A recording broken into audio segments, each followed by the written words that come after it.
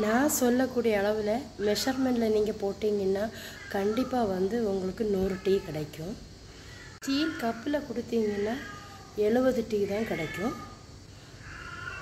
இல்லை நீங்கள் ஒரு பார்ட்டியெல்லாம் இருக்கும்போது அஸ்லாம் வலைக்கும் welcome to foodie with Vinu channel hi friends எல்லோரும் எப்படி இருக்கீங்க? நல்லா இருக்கீங்களா?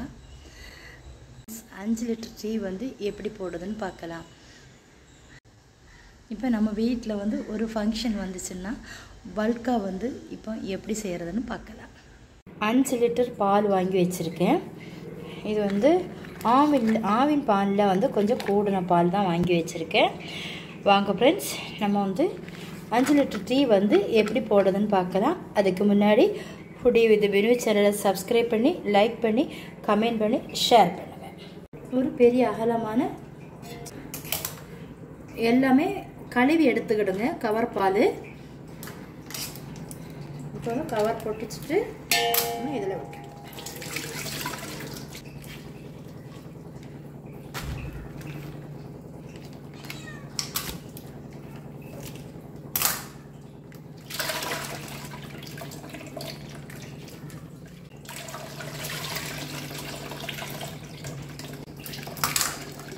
அஞ்சு லிட்ரு பாலையும் நம்ம விட்டாச்சு.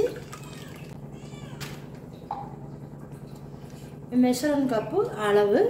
இது இருநூற்றம்பது மில்லி இதில் நம்ம தண்ணி எடுத்து அளந்து விட்டுடலாம்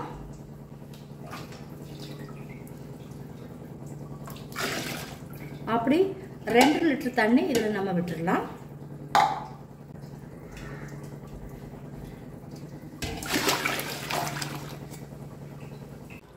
நம்ம வந்து ஸ்டவ் ஆன் பண்ணிக்கலாம்.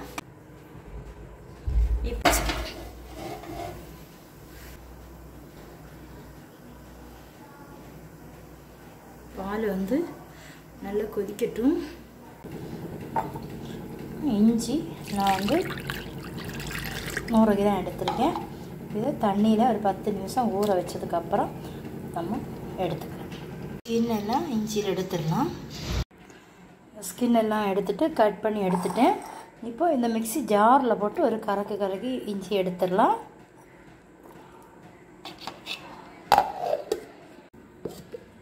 கொஞ்சம் குறை பாட்டு இந்த மாதிரி அரைச்சி எடுத்துக்கிடுங்க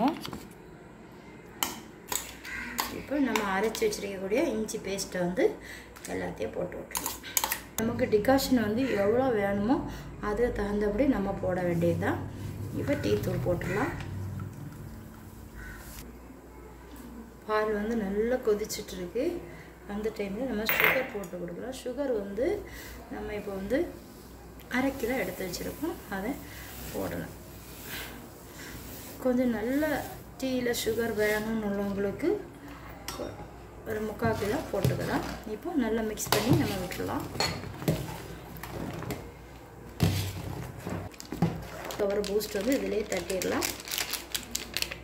நம்ம நாலு கவர் பூஸ்ட்டும் போட்டாச்சு.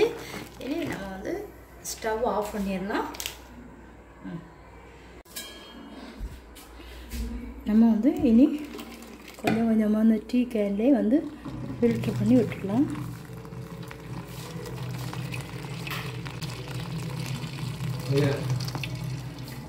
கொஞ்சம் கொஞ்சமாக இந்த கேன்லேயே விட்டுடலாம் கடைசியாக வந்து நம்ம ஒரு கவர் பூஸ்ட்டு இந்த அரிச்சதில் விட்டுறணும்